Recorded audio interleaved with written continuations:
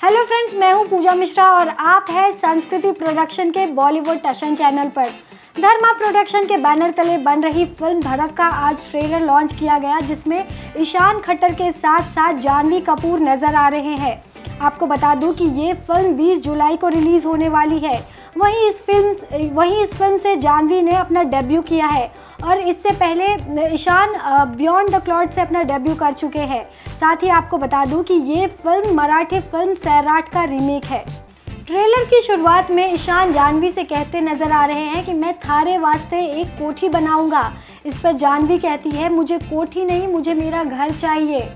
इससे ट्रेलर देखने से साफ़ ज़ाहिर होता है कि ये दो वर्गों की कहानी है जिसमें प्रेमी जोड़े को अपनी जान देकर अपने प्यार की कीमत चुकानी पड़ती है। साथ ही आपको बता दें कि इस फ़िल्म की शूटिंग राजस्थान के मेवाड़ इलाके में हुई है। फैंस को जानवी और ईशान की ये जोड़ी काफ़ी पसंद आ रही है क्योंकि ट्रेलर देखने से पता चल रहा है कि उन्होंने कितना अच्छे तरीके से काम किया है।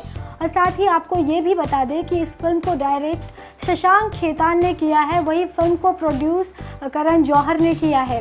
और आपको ये भी बता दूँ कि फ़िल्म 20 जुलाई को रिलीज़ होने वाली है।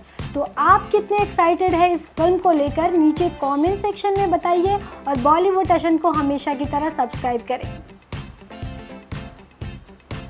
Please subscribe Bollywood Tashan. Also, don't forget to press the bell icon and never miss any filmy Bollywood update. Stay with us.